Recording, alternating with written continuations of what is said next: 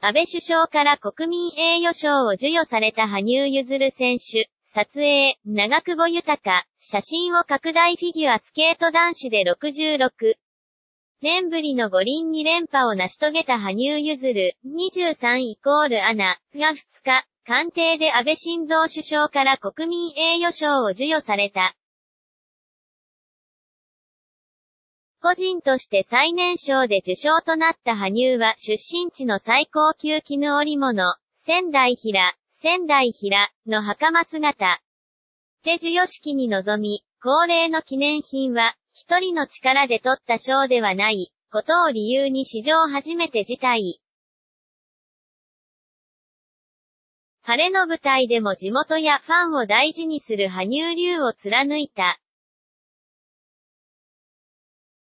表情の艶やかな衣装もかっこいいが、袴姿も様になっていた。羽生が授与式で身につけた着物は地元の伝統織物、仙台平。羽生家の家紋入りで、人間国宝の高田康郎、吉尾、さんから贈られたもので、高価なものだと布地だけで100万円超の代物だ。安倍首相から、どんな格好でも似合いますね、と褒められると、羽生は、本当はもっと伝統ある所作をしないと、いけないと思ったんですが、スケーターなので自分らしさも出せればと、と照れくさそうに笑みを浮かべた。東日本大震災、怪我などの困難を乗り越えての五輪2連覇。国民に明るい夢や希望を与えたことが評価されて、史上最年少23歳での受賞となった。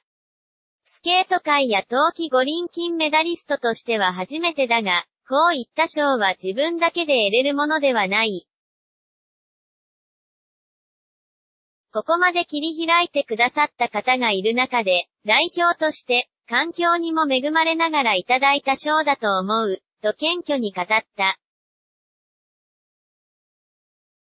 周囲への感謝の気持ちを忘れることはない。これまで受賞者の希望の品が、記念品、として送られてきたが、羽生は辞退した。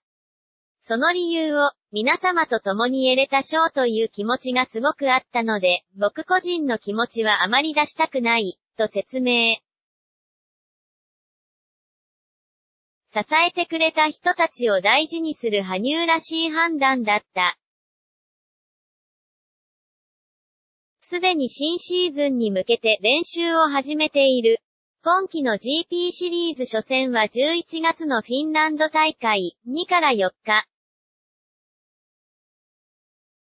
4年後の北京五輪については、特に考えていません、と言及しなかったが、史上初の4回転半ジャンプ成功の目標もある。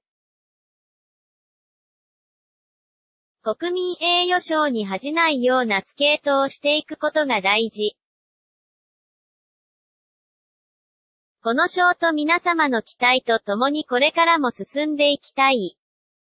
膨らむプレッシャーは自ら進んで引き受ける。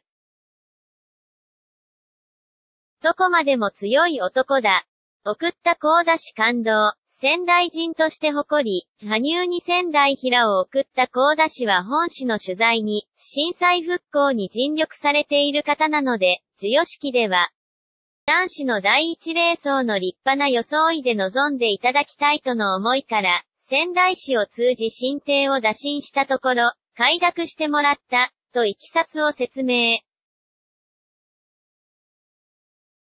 テレビなどで羽生の晴れ姿を見たといい、立派に着こなす凛々しい姿に感動し、同じ仙台人として誇りに思いました、と喜んだ。